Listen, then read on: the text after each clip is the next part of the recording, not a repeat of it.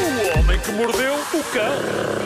Título deste episódio: Valha-me Deus, seus líderes de negócio. Não consigo dormir, portanto vou contar gado ovino ou então ter uma conversa séria com o meu cão. Já me perdi. Tu sabes que no título do podcast.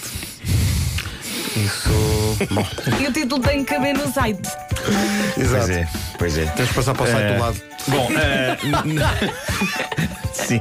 No capítulo A Vida Dá Muitas Voltas, eis a história de um grupo cristão conservador na Universidade de Iowa, nos Estados Unidos. Tem um nome espetacular: Business Leaders in Christ.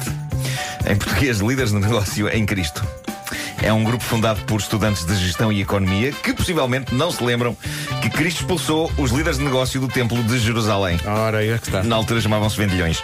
Ah, eu não sei, acho que Cristo era capaz de não adorar que houvesse uma organização chamada Líderes de Negócio em Cristo, mas adiante. Esta organização estudantil existia na Universidade de Iowa e houve um estudante que quis entrar nela, era cristão e queria ser líder de negócio. E esteve lá há pouco tempo até a organização Líderes de Negócio em Cristo ter descoberto que este seu membro era homossexual. E para grande choque dele, quando descobriram isso, expulsaram-no da organização. Ao saber deste ato de discriminação, a universidade decide expulsar de lá a organização Líderes de Negócio em Cristo. E o que é que fez a organização Líderes de Negócio em Cristo? Decidiu levar a universidade a tribunal acusando-a de discriminação. Ah, certo. Vá. E é provável que vá perder. É provável que sim. É provável, é provável que sim. Mas gosto desta é uma história em pescadinha de rabo na boca. E agora, ovelhas, eu não sei se algum de vocês já contou ovelhas para dormir. É um método lendário para entreter a mente e fazer o sono chegar. Eu prefiro ouvir música calma. O, o meu problema com contar ovelhas é o facto da minha mente mover-se por vezes a mil à hora. E depois são muitas, até Epá, adormecer. é- não, e, e- e- e a rapidez da minha mente contagia as ovelhas e então começam a saltar tipo às duas e três ao mesmo tempo e eu estou tipo, calma, calma!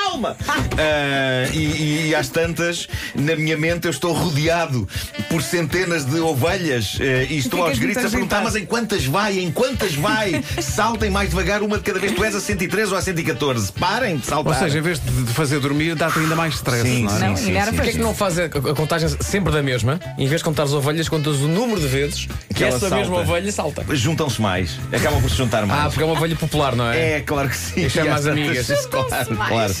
Nos meus momentos de maior stress, contar ovelhas torna-se assustador. Mas há pessoas normais a quem este método serve maravilhosamente e parabéns a elas por isso. E depois há ovelhas que têm elas próprias insónias. Eu nunca tinha ouvido falar disto até ler esta notícia incrível vinda do país de Gales. Há um agricultor, Liam Hughes, de 47 anos.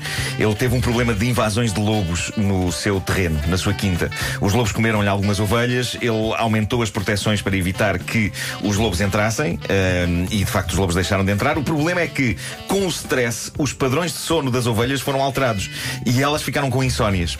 E uma coisa maravilhosa que este senhor podia ter feito era reunir os amigos e à noite eles iam desfilando em frente às ovelhas para as ovelhas contarem homens. Eu adorava que isso tivesse acontecido, mas não. A solução que ele encontrou foi música. Ele instalou umas colunas no estábulo e passou a usar música suave para relaxar as ovelhas. M- música de embalar não funcionou, mas após vários testes ele conseguiu localizar e identificar as músicas que finalmente puseram as ovelhas a dormir. E então as ovelhas só conseguem relaxar ao som de Bach, Debussy e Ariana Grande. Já viste? É um gosto Fascinante. muito Olha eclético, que, não é? olha que Fascinante. É um gosto muito E eclético. o agricultor diz que em breve vai publicar a playlist no Spotify. Bom, Vamos todos dormir descansados. Todos nós temos uma ovelha dentro. Péssimo. Péssima frase. péssima imagem, péssima Péssima imagem. É horrível, é Mas ao menos não tinhas frio. Po- sim, é verdade.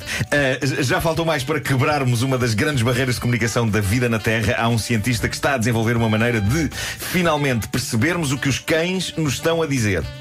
Como? Como? Graças a este homem, não tarda muito para que os cães consigam falar connosco. Ele está a trabalhar num aparelho capaz de transformar os latidos dos cães em frases humanas. Ele diz que em menos de 10 anos isto será uma coisa comum em todas as casas onde haja cães. Um aparelho que, mal o nosso cão ladra, diz em voz alta o que o cão está a dizer.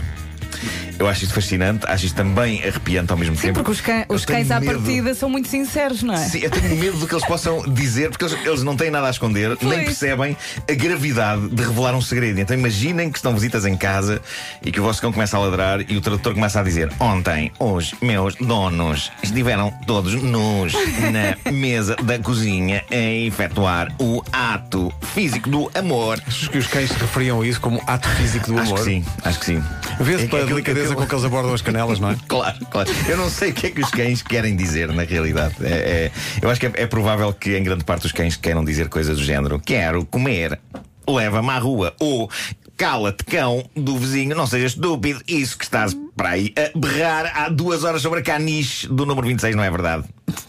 Tu achas mesmo? Sim, Ó, Marco, mas. é, eh, Há uma certa A tua densidade. máquina tradutora de canídeos É muito lenta. é um, e também é um bocadinho fanhosa, não é? É.